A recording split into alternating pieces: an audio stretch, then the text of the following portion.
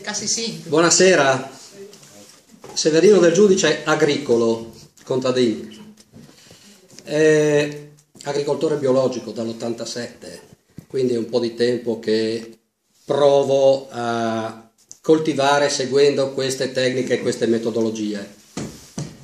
L'ultimo intervento mi è, piaciuto, mi è piaciuto, a dire il vero, per la passione che c'è dietro. Eh, mi sarebbe piaciuto fare un giro insieme con il signor Leandro Sì, scusa, in questi, eh, in questi appezzamenti perché abito vicino a Tomba.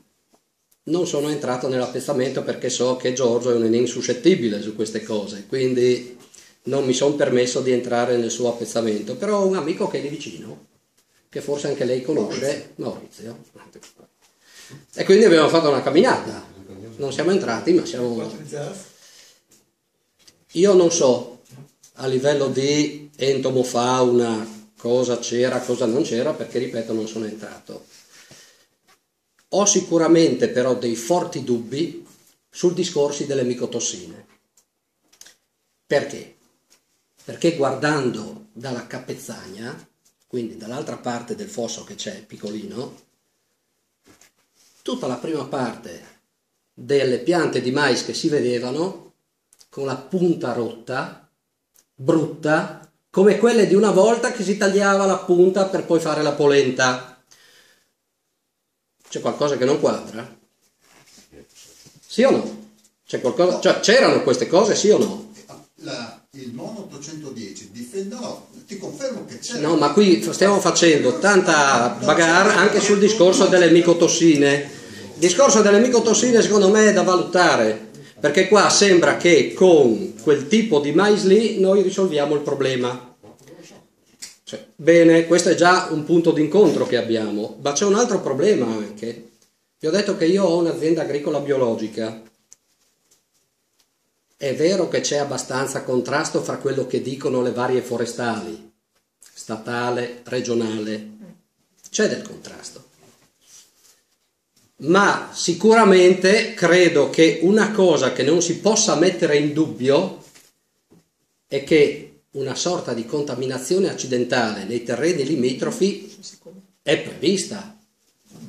Credo che sia fantasioso pensare che non ci sia questa contaminazione accidentale, molto fantasioso, anche perché ho visto dei documenti di quelli pro OGM, di sperimentazione anche fatte qui in Italia, che se volete poi ve le dico dove sono, e Dio, sì, un ene di contaminazione c'era, con tutte le precauzioni che erano state previste.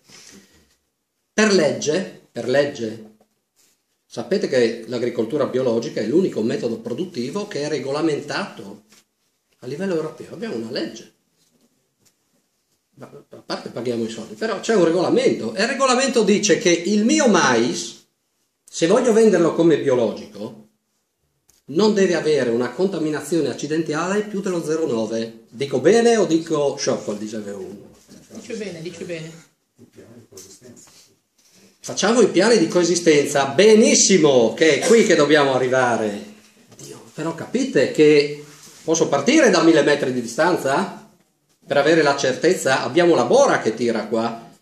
Quanti miliardi di granuli di polline ci sono su una pianta? Qualcuno me l'ha detto una volta. E mi ha detto anche che vivono molto poco questi granuli di polline. Un minuto Un è minuto. la media.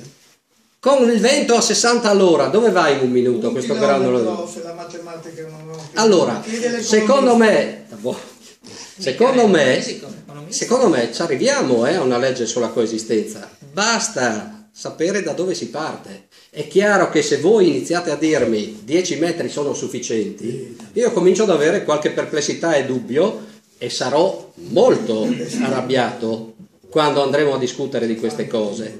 Un'altra piccola considerazione, ma che penso sia condivisibile, insomma. Se abbiamo questa contaminazione con 6 e uno 7 mila metri coltivati, con allora adesso abbiamo circa 80.000 ettari di mais qui in regione, il 10% può- si può ipotizzare che verrebbe da- già da subito, no OGM? Sì, perché ci sono tanti agricoltori che vorrebbero iniziare a farlo. 8.000 ettari di mais Cosa significa per il mais del Friuli Venezia Giulia secondo voi? Che non esisterà più OGM free e che io non potrò certificare il mio mais come biologico e questo mi secca? Mi secca molto? Quello non potrà mai succedere perché sarebbe un danno. eh, Benissimo, e allora siamo d'accordo quasi su tutto, eh? Ex post però. Abbiamo già risolto il il piano di coesistenza, c'era una mano da... 12 metri,